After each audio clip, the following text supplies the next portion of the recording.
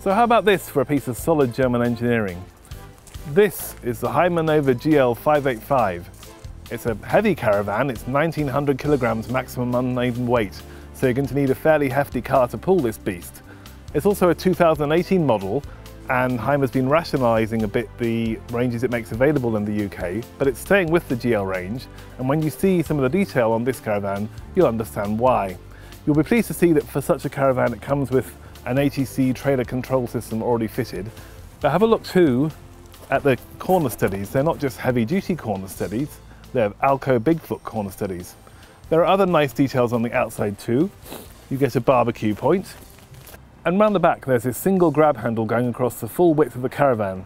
So when you arrive on site and you can't pull this caravan onto its pitch on your own, everyone can come and help you.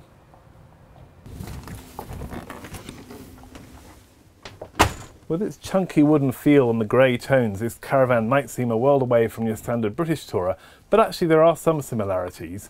There's this wonderful front lounge with wraparound seating, and look how much light comes in through the three large windows, the sunroof, and a massive roof light. It's nicely heated too, with vents that come from the Truma heating. And this table may be chunky, but it's freestanding just like in most UK tourers, and it's big enough to hold at least five or six people around for a dinner, and the chef can still take part in the conversation because of the way it's positioned. And behind you, there's a socket on each side for anything electrical, a nice couple of shelves you can put them on, a drinks holder, and two speakers that connect to the hi-fi in this caravan, so you certainly won't be deprived for any quality of sound coming in here. Another nice touch is the shelves you get here as well as the lockers. Useful place to put fobs and things on your way out to the toilet block or somewhere like that. It's when you're standing in near the kitchen like this that you really appreciate how spacious and wide this caravan is. It really makes a difference from some of the more cramped UK vans. However, when you turn to the kitchen itself, there are some things that perhaps you might find a little bit odd as a UK caravanner. It's great that you have a separate oven and grill with a four burner dual fuel hob. It's all well lit with two LEDs underneath the lockers. But I'm wondering why the extension flap here is the other side of the splashback. And I'm a bit surprised that in a van costing almost £35,000, you still only get a three-way fridge. But there's plenty of storage here, in both the drawers down below and these spacious lockers. And in this locker on the left, you get a microwave. Down here, there are two main sockets, and I like the detailing they've put on this back panelling. It makes this kitchen look much more domestic. Opposite the kitchen is a storage unit that I think is rather special. You get this nice coat rack by the door with a hanging rail, with a boot locker on the other side. There's good storage here, there's a wardrobe here which is probably adequate for four people. But best of all, the heater goes under here, which means in this drawer here, you can keep everything nice and toasty.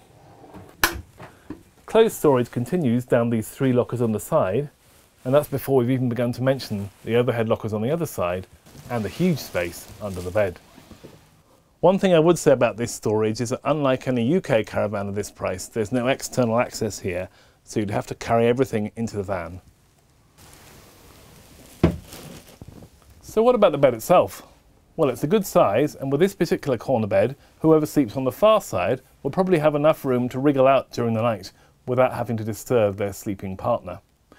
There are two speakers here as well, although the rather odd thing is that they're positioned at the front and the back of the bed. It's almost as if Hymer expects you to sleep sideways to listen to the music.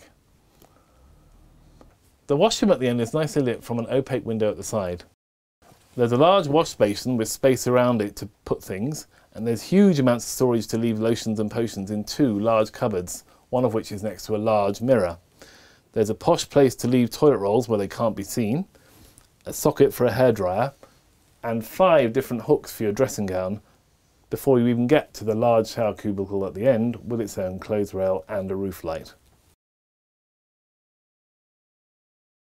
So if you have a beefy tow car and a fair amount of cash to splash around, you might think the Hymer GL range is one for you, especially if you're the kind of person who likes to luxuriate in the huge amount of space you get inside this caravan. But if you do go looking, and in particular if you look for a brand new 2019 model, bear in mind that this is one area where, unlike other areas, Britain is falling into line with Europe, because from 2019, all Hymer caravans will be rebranded in the UK as Eriba, as they are everywhere else in Europe. So much for Brexit.